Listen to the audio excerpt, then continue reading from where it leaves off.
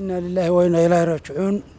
Waxaanu halkan ka tacsidaynaynaa geerida ku timid jenaraal maxamed cali shire.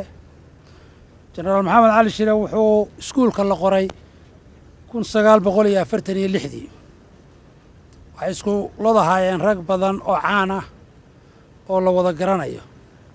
Cabdiqani garaad jaamac garaad cabdiqani ka mid ahaa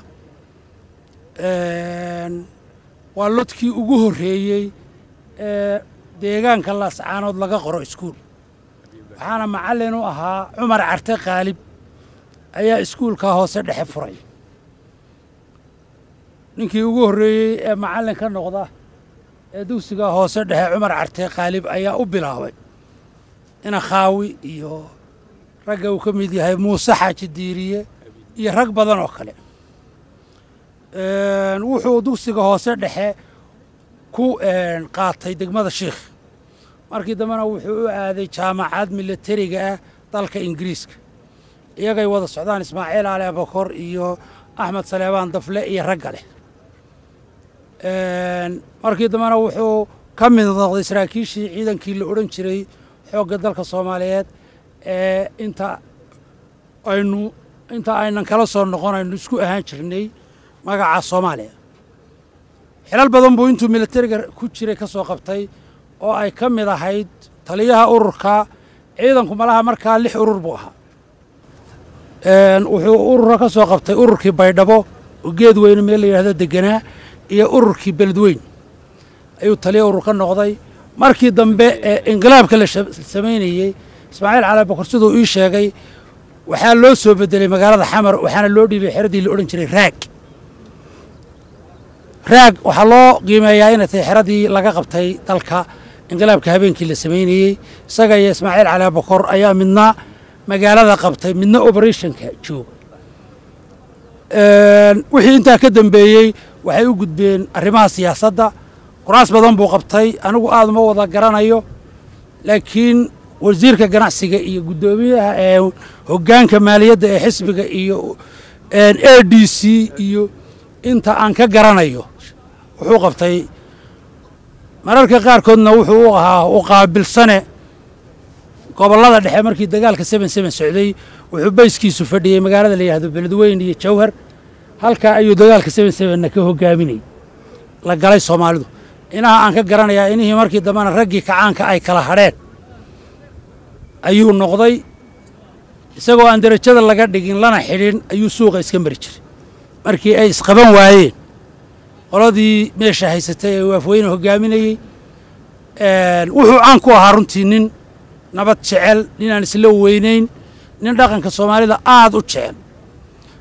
Sida uu ii sheegay baadho oday lo odhan jiray oo reer hargeyse ahaa wuxuu igu yidhi marka uu xamar ka yimaado xamar ee uu hargeyse noogu yimaado siba markuu a d cda iyo wasiirka ganacsiga i ahaa wuxuu nala fadhiisan jiray qol yar ayuu afar nin nagula fadhiisan jiray isagoo hangool iyo maxawis iyo gooshaala wato oo aan hal askari ah oo gaada wadan. Aad iyo aad baan runtii uga tiiraansannahay innaa lilaahi wa innaa raajicuun. Halka waxaanu u taagannahay madaxdii dowladda oo dhan madaxweynihii guddoomiyihii baarlamaanka iyo wasiiradii golihii saddex janarnadii waxaa loo taaganya o aanu ka soo qayb gallay aaskii maxamed cali shire jenaraal maxamed cali shire ilaahay hau naxariisto maxamed cali shire sida la wada ogsoon yahay wuxuu ka soo jeedaa qoysaska caanka ku ah ama waaweyn ee reer laascaanood. Hadday tahay xagga ganacsiga hadday tahay xagga waxbarashada iyo tacliinta iyo dadka ka dhashay. Nin caana buu ahaa. Taariikhdiisii iyo waxbarashadiisii iyo xilalku soo qabta iyo saleeman baa ka sheekeeyey waxaan keliya unaan odhanayaa intaan ka xasuusnahay anugu markii uu dowladda ka mid ahaa ee golihii kacaanka la odhan jiray ee soomaaliya uu ku jiray. Nin deggan oo asluub leh oo aan xukunka ku talax tegin awooddeeda awoodaha uu siiyey khibrad aan lahayn maxaa aad dadka u ixtiraama ka xishooda aan wax kibira lahayn oo dadku kulligii wada saaxiib iyo yahay ehel buu ahaa oo aad u wanaagsan.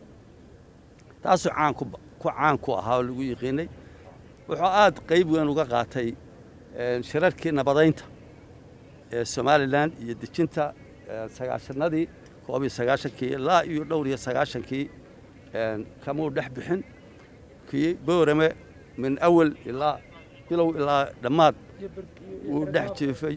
Kii ceerigaabo ayuu ka qayb qaatay deegaanka laascaanood iyo sool aad iyo aad buu howlaha uga qaban jiray.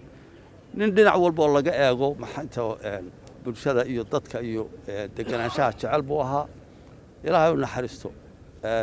Nafsi daa'iqatulmowt dee wakaa xabaashtii baynu joognaa. Dee maanta waxaynu joognaa aas qaran. Nin weyn oo somalilan ka baxay guud ahaanna soomaalida ka baxay ayaa dhintay. Ilaahay ha u naxariisto maxamed cali shire. Sidaa la sheegay wuxuu ahaa dadkii ugu horreeyey somalilan waxbartay wuxuu ka mid ahaa hogaamiyeyaashii ciidankii somaali scout ee somalilan ay lahayd. Markii dambe ee inqilaabkii uu ka qayb qaatay ee golihii sare kacaanka uu ku biirayna. Anigu waan yaraa laakiin sheekooyinka caanka ahi laga sheegi jiray nin hadal dhiiran oo waxa khaladka ah ku dhiiran oo tilmaama arrinta khaladka ah oo aan ogolaan buu ahaa sida dadkoo dhan ay qireen.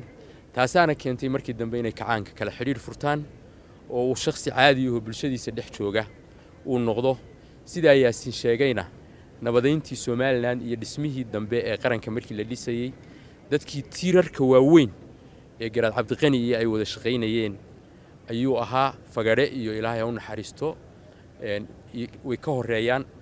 Markaa maantana dee aas qaran baynu samaynayna waxaynu halkan u taagannahay weynaynu sabootino.